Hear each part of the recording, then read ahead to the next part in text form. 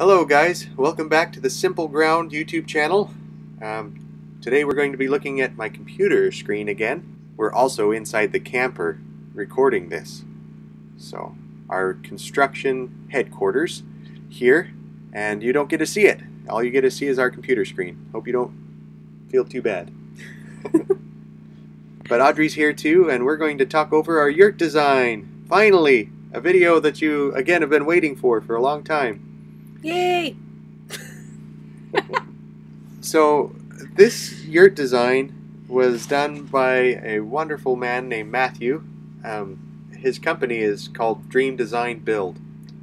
And, you know, Smiling Woods Yurts has done the the building of this project, and they're the the um, the people who've created this style of of yurt for their business, and and Matthew often helps them out with the design phase.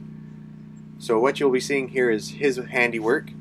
I'm going to leave in the description uh, links to both Matthew's website and Smiling Woods Yurts, so you guys can take a look at their wonderful work if you're ever interested in doing something similar. So here we're looking at the south part. This is the south facing door, which is actually going to be the back door.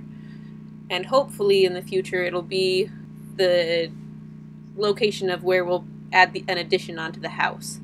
Yep, we'll have to remove a little bit of this deck to, to make it work, but that's been part of the design process, so we're all prepared for that. Here we've switched to the east side, um, and and again you can kind of see its basic design, but uh, you can also notice that we're making a post and pier foundation here. It's all going to be on a post and pier foundation. That's part of being able to do it myself. Yep, and if it's anything like the camper, underneath is probably where the dog's gonna live. well, that's if I leave it open. We'll build her a good house. All right, so this is taken from the drone. Um, you can see these makeshift pegs that I put in the ground with blue flagging. That's the basic shape of the yurt there.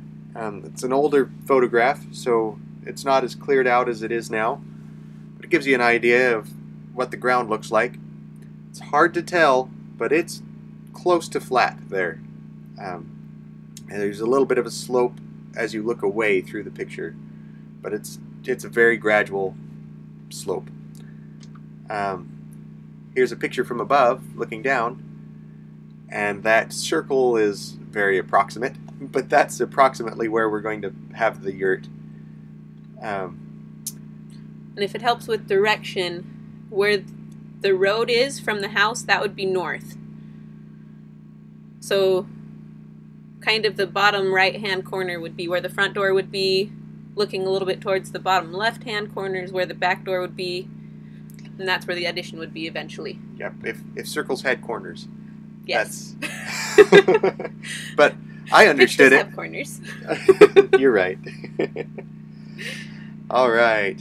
And our beautiful tree that's in very sad shape, we've been leaving that there. We've called it House Hemlock because it uh, it's been helping with all of the mapping and design of of the entire project. Just gives us a home base. We Uh-huh. can say, look for that tree, the house hemlock. Yeah. And we know what to look for and where the house is and what direction we're pointing and and and there are two growing side by side. You can't tell uh, here. You can see another one, another conifer tree that we've cut down, but or yeah, uh, but this other one we're going to leave, and the tall one that's kind of dying out will have to come down eventually. All right, now this is the good stuff that we've been waiting for. Yep, this is the really exciting part. We spent a lot of time trying to figure out what we wanted the inside of the yurt to look like, knowing that we were going to have to uh, forego a few concepts and ideas and some space, considering how small we're having to start out. So we've been very careful about picking and choosing our pros and cons.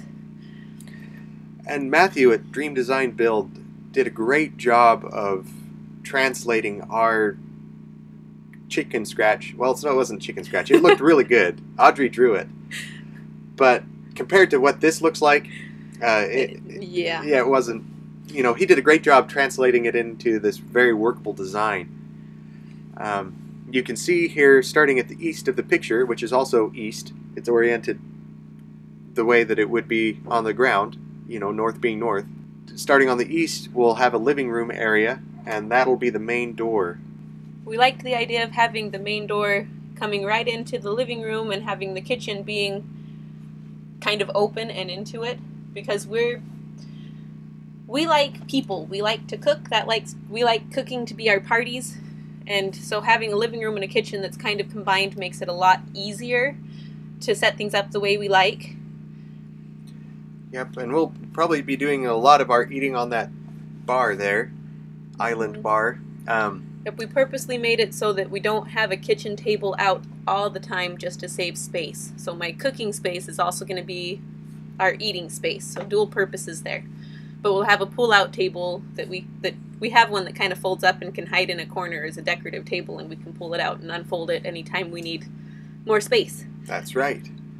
All right, and um, you can see here that our wood stove is actually a wood cook stove. We're planning on putting a cook stove in there uh, so that we can cook with wood and heat the home with wood. And our regular stove uh, will be propane if we can make it all work out that way. We haven't Mhm. found one to purchase yet, but we know it'll work. Anyway, so our, our idea there is to have two methods of cooking, and we'll try to use the, the wood stove as much as possible. You'll be seeing lots of videos about that in the future. That'll be very fun to play with. We also found with the county that it's very important that we have two sources of heat. So you can also see our uh, propane furnace there as well, so that we can be up to code there. And for the lazy days when Jared's not around, I can just use the propane heat. that works.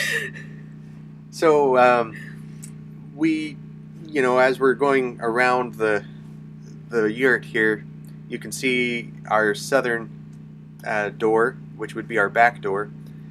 This was the spot where we had the most confusion, and Matthew did a really good job of cleaning it up the best he could. But we have that door opening up into the refrigerator and a pantry. Uh, you know, that's about the best we could do there. And our idea was, uh, you know, muddy, uh, dirty times, we can go up and through the kitchen into the bathroom, which would be a mud room as well. And, you, you know, there's problems associated with that, but that was the best we could do. But uh, that nice compact bathroom there will be a lot of fun, I think. Um, we're excited about putting some stuff together in there.